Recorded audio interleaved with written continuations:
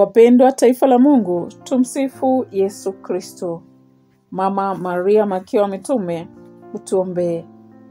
Karibu kwenye chaneli hii ya Mama KFB Mkatoliki yenye kukuletea masomo ya misa takatifu ya kila siku, rozari takatifu ya Mama Bikira Maria, mafumbo yote, rozari ya huruma ya Mungu, rozari ya mateso saba ya Mama Bikira Maria, namna ya kusari rozari takatifu ya mateso saba na rozari ya malaika mkuu malaika Mikaeli.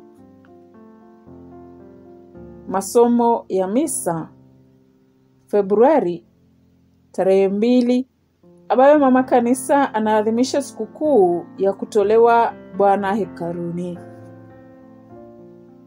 Somo la kwanza Maraki sura ya tatu mstari wa kwanza hadi wa nne. Somo katika kitabu cha nabii Malaki. Bwana Mungu asema hivi: Tazameni, namtuma mjumbe wangu, naye ataitengeneza njia mbele yangu. Atafika ghafra katika hekalu lake Bwana mnayemtafuta, na mjumbe wa agano mnayemtamani. Tazameni, anakuja, asema Bwana wa majeshi. Nani awezaye kuvumilia siku ya kuja kwake na kusimama siku atakapotokea? Maana yeye ni kama moto usafishao chuma na kama sabuni ya mfua nguo. Basi ataketi akiyeyusha na kusafisha, atawasafisha wana wa Lawi na kuwatakaza kama vile dhahabu na fedha, nao watamtolea Bwana matoleo jinsi inavyofaa, nayo matoleo ya Yuda na Yerusalemu yatampendeza Bwana kama vile siku ya kale na kama miaka ya zamani. Neno la Bwana. Tumshukuru Mungu. Zaburi ya kuitikizana. Zaburi sura ya ishirini na nne mstari wa saba, nane, tisa mstari wa kumi. Kitikio ni mstari wa kumi ba. Kitikio: Bwana wa majeshi ndiye mfalme wa utukufu. Bwana wa majeshi ndiye mfalme wa utukufu. Bwana wa majeshi ndiye mfalme wa utukufu. Bwana wa majeshi ndiye mfalme wa utukufu. Inueni vichwa vyenu enyi marango, inukeni enyi marango ya kale, ili yaingie mfalme wa utukufu. Bwana wa majeshi ndiye mfalme wa utukufu. Ni nani huyo mfalme wa utukufu? Ni Bwana mwenye nguvu na enzi, Bwana shujaa vitani. Bwana wa majeshi ndiye mfalme wa utukufu. Inueni vichwa vyenu enyi malango, inukeni enyi marango ya kale, ili aingie mfalme wa utukufu. Bwana wa majeshi ndiye mfalme wa utukufu. Ni nani huyu mfalme wa utukufu? Yeye Bwana wa majeshi ndiye mfalme wa utukufu. Bwana wa majeshi ndiye mfalme wa utukufu. Somo la pili. Waibrania sura ya pili mstari wa kumi na nne hadi kumi na nane. Somo katika barua kwa Waibrania.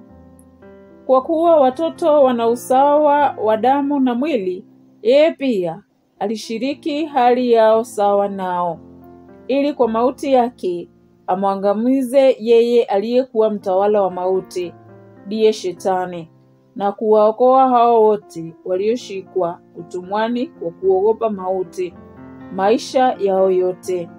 Bila shaka hakuja kuwasaidia malaika, bali kuwasaidia wazao wa Abrahamu. Kwa hiyo ilimpasa kuwa sawa na ndugu zake katika yote, ili awe kuhani mkuu mwenye huruma na mwaminifu mbele ya Mungu, aweze kufanya maripizi ya dhambi za watu. Na kwa kuwa mwenyewe alipata majaribio, aweza kuwasaidia wenye kujaribiwa. Neno la Bwana. Tumshukuru Mungu. Aleluya, Alléluia, aleluya, aleluya. Mwanga wa kuwaangazia mataifa na utukufu wa taifa lako Israeli. Aleluya, aleluya, aleluya, aleluya. Somo la Injili takatifu ilivyoandikwa na Luka. Utukufu kwako e Bwana. Luka sura ya pili mstari wa ishirini na mbili hadi arobaini. Zilipotimia siku zao za kutakasika zilizoamriwa katika sheria ya Musa, wazazi wa Yesu walimpeleka Yerusalemu ili wamtoe kwa Bwana kama ilivyoandikwa katika sheria ya Bwana. Kila mtoto wa kiume aliyemzaliwa wa kwanza aweke wakfu kwa Bwana na watoe sadaka kama ilivyotajwa katika sheria ya Bwana, hua wawili au makida wawili wa jiwa. Huko Yerusalemu palikuwa na mtu jina lake Simeoni. Alikuwa mtu mwadilifu, mcha Mungu, naye alitazamia faraja ya Israeli, na Roho Mtakatifu alikuwa naye. Alikuwa amejulishwa na Roho Mtakatifu ya kwamba hataona mauti kabla ya kumwona Kristo wa Bwana.